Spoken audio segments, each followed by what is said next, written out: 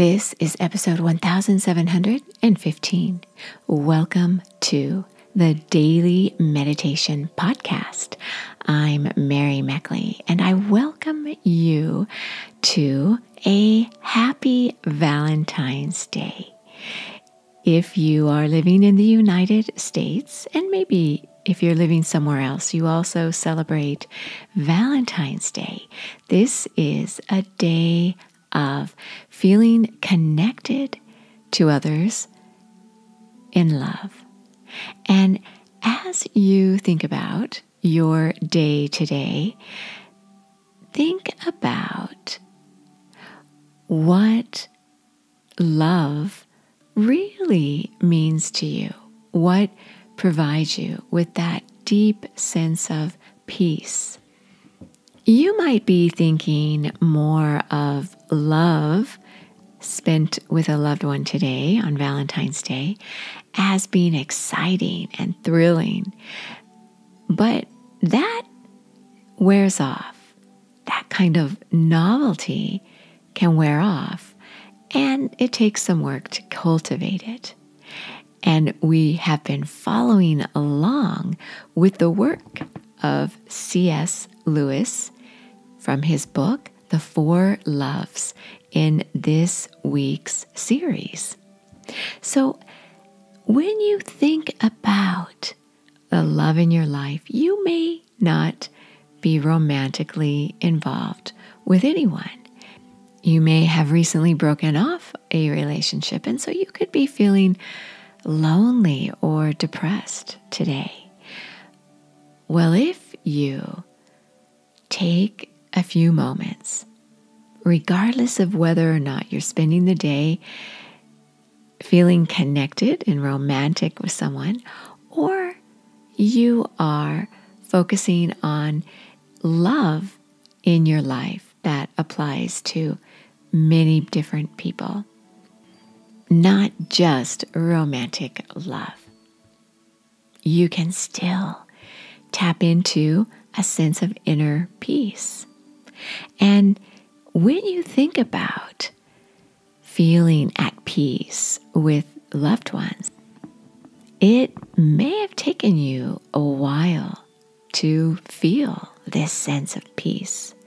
Because it's more often that when we meet someone, especially someone we are interested in romantically, but also when we meet friends or reunite with people we haven't seen in a while, there's a sense of excitement.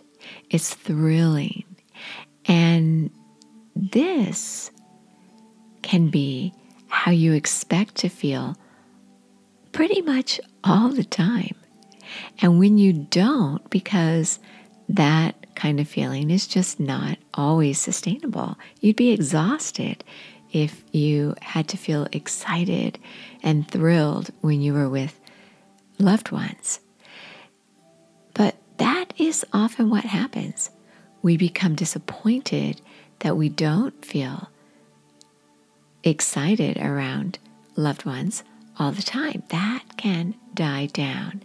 And I want to share with you the insight C.S. Lewis has to say about this when Eros, or that romantic love starts to become more of a regular human being, just like you, not the person on the pedestal you may have thought them to be.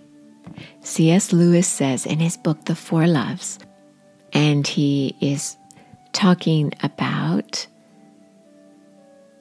Eros, that romantic love. He says, Can we be in this selfless liberation for a lifetime? Hardly for a week. Between the best possible lovers, this high condition is intermittent. The old self soon turns out to be not so dead as he pretended, as after a religious conversion, in either he may be momentarily knocked flat, he will soon be up again, if not on his feet, at least on his elbow, if not roaring, at least back to his surly grumbling or his mendicant whine. And Venus will often slip back into mere sexuality. But these lapses will not destroy a marriage or a relationship between two decent and sensible people. The couple whose relationship will certainly be endangered by them and possibly ruined are those who have idolized Eros. They thought he had the power and truthfulness of a god. They expected that mere feeling would do for them and permanently all that was necessary. When this expectation is disappointed, they throw the blame on Eros, or more usually on their partners. In reality, however, Eros, having made his gigantic promise and shown you in glimpses what its performance would be like, has done his stuff. Eros, like a godparent, makes the vows. It is we who must keep them. It is we who must labor to bring our daily life into even closer accordance with what the glimpses have revealed. We must do the works of Eros when Eros is not present.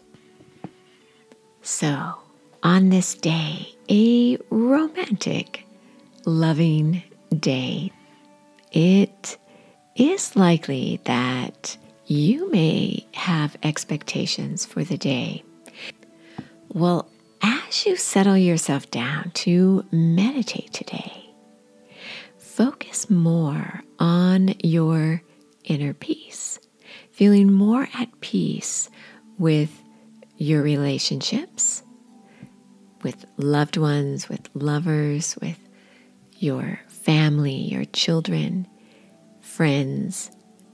Feel more inner peace when you feel this inner peace, your whole body, your whole being relaxes.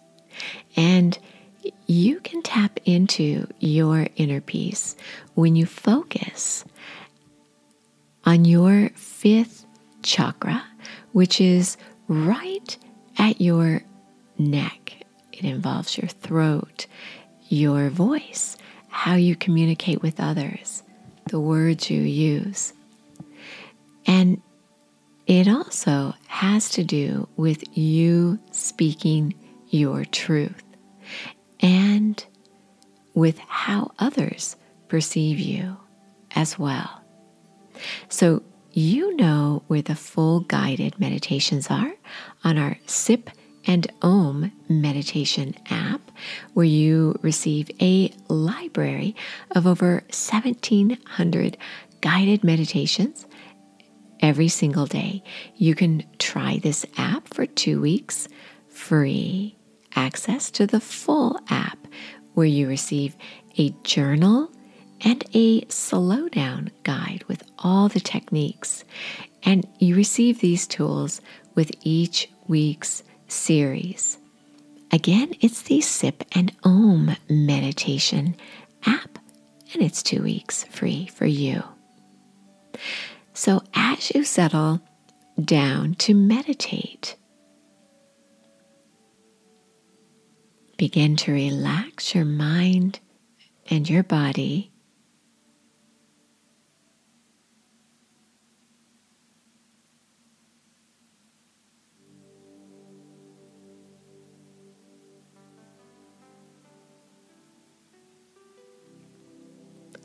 And now focus at your throat and think of how often you speak all day long, sharing your truth. You could visualize the color of indigo blue surrounding your throat or surrounding your whole body as you share your truth. Feel yourself relax into who you really are, not perceptions of yourself, but who you are at your core.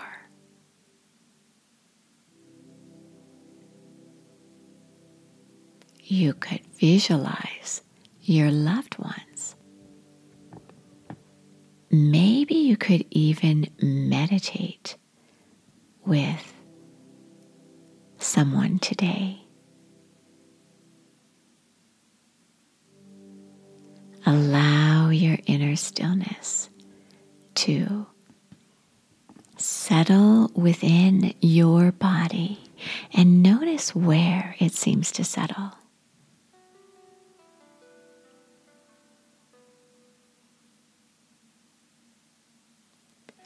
Offer this peace up to your loved one. Meditate for as long as you feel comfortable doing so. End your meditation on a high note. You are so worth slowing down for.